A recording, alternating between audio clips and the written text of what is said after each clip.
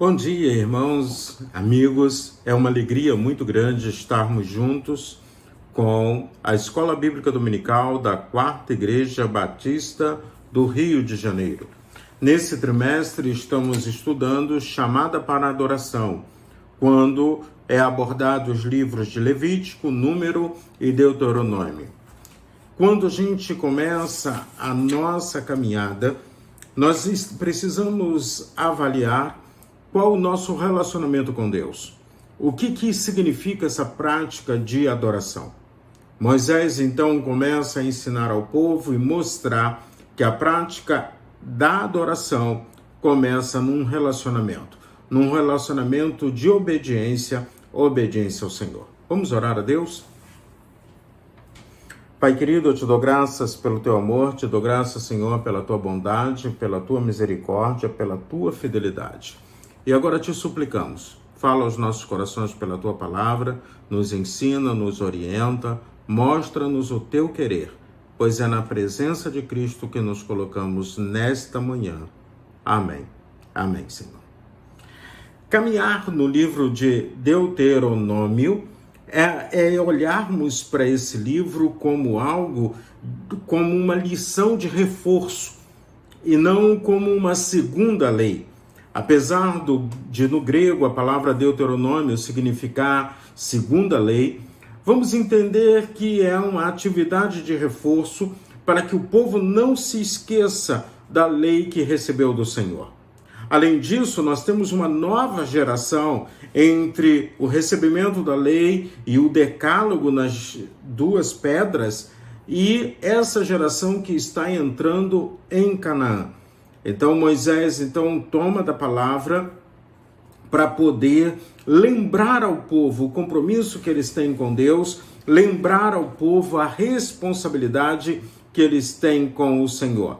Tanto que no capítulo 1, no versículo 1 a 3, ou seja, na abertura do livro, fica muito claro qual o objetivo deste livro quando diz assim: Estas são as palavras ditas por Moisés a todo Israel, no deserto, a leste do Jordão, na Araba, de fronte a Suf, entre Parã e Tofel, Labã, Azerote e Dizaabe em onze dias se vai de Oreb a Cades Barneia, pelo caminho dos montes de Seir.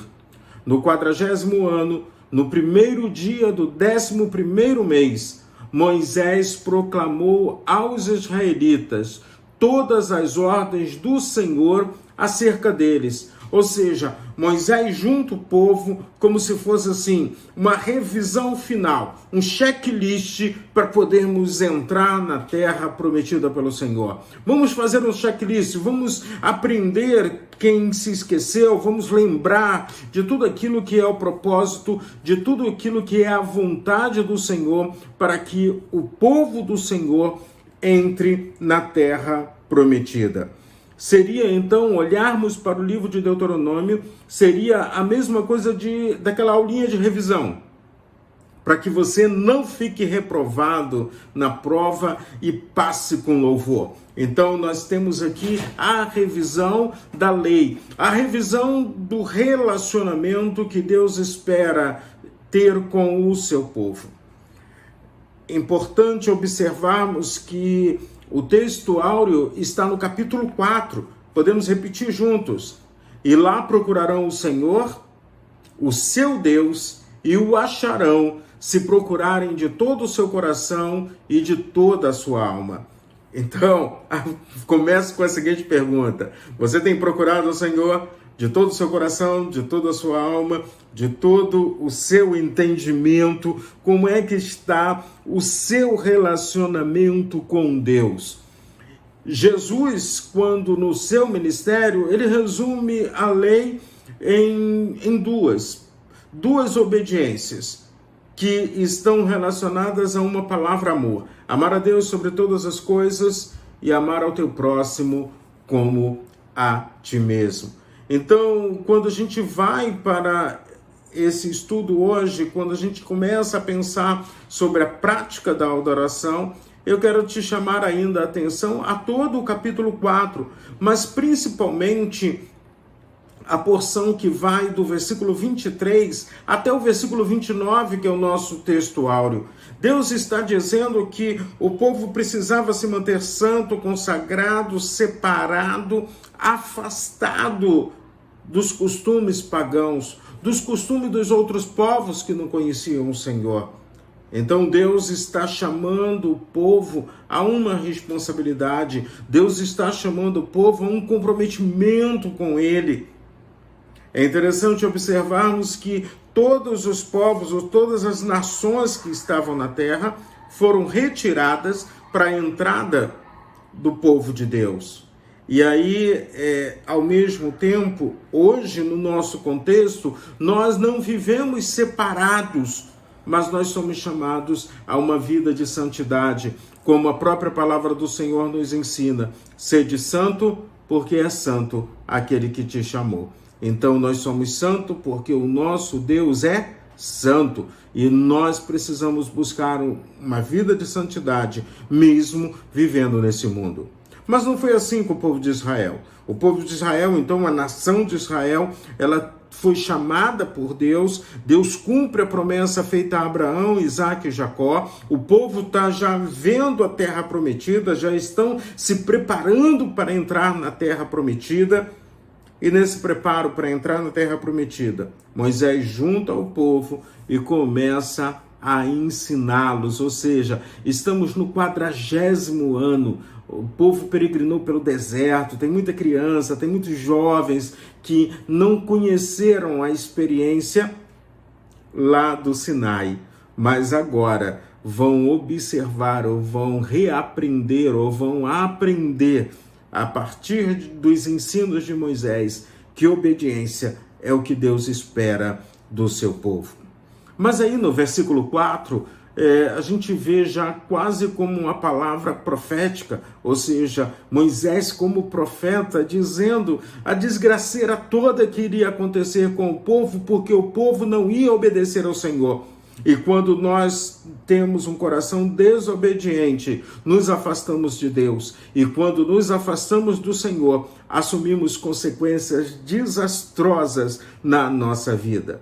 Observe o que diz a partir do versículo 23, o capítulo 4 desse livro, do livro de Deuteronômio. Tenham o cuidado de não se esquecer da aliança que o Senhor, o seu Deus, fez com vocês. Não façam para si ídolos algum, com a forma de qualquer coisa que o Senhor, o seu Deus, proibiu.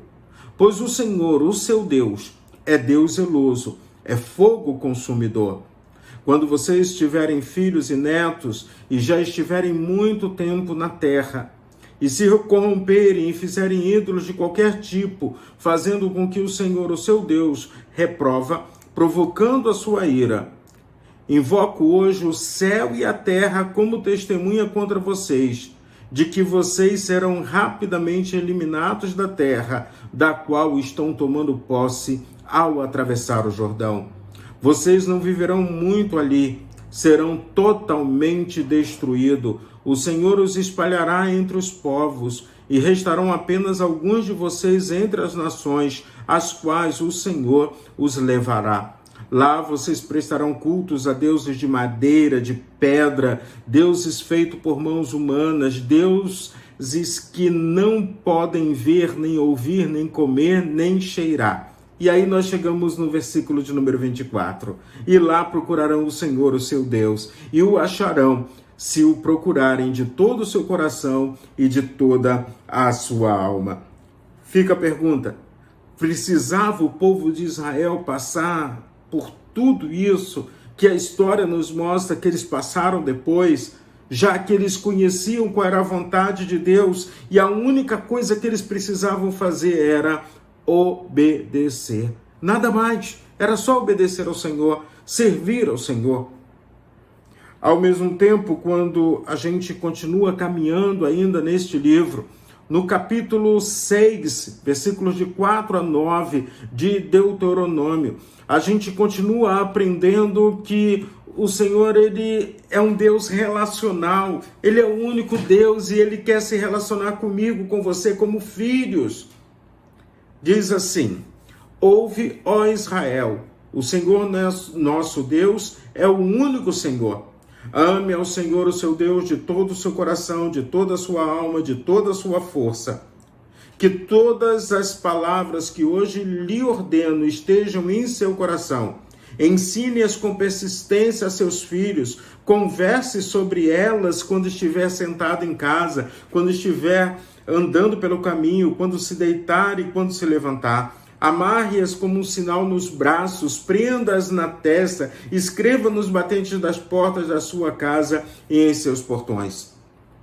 O que eu chamo a atenção sua é que, mesmo no Antigo Testamento, nós já aprendemos que o meu relacionamento com Deus, da mesma forma que Deus esperava que o seu povo estivesse se relacionando com Ele, fosse um relacionamento de amor, de pleno amor, de grande amor.